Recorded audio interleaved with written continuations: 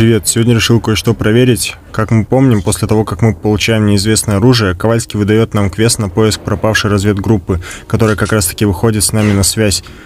Я решил телепортироваться к ним сразу, то есть не бежать до них, а прям телепортироваться на то место, где они умирают, и посмотреть, можно ли их застать живыми.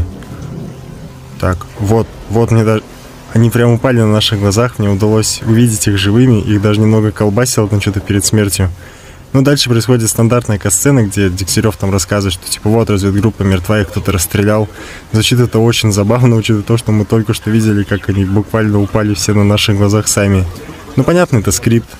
А, к сожалению, спасти их, скорее всего, вряд ли как-то можно, потому что это, понятное дело, скрипт, и они умирают по-любому. Но вообще прикольно, что мы можем увидеть их еще живыми. Вот они лежат. Их там, правда, что-то колбасило даже перед смертью. Ну, в общем, прикольно. Жалко, что пацанов спасти никак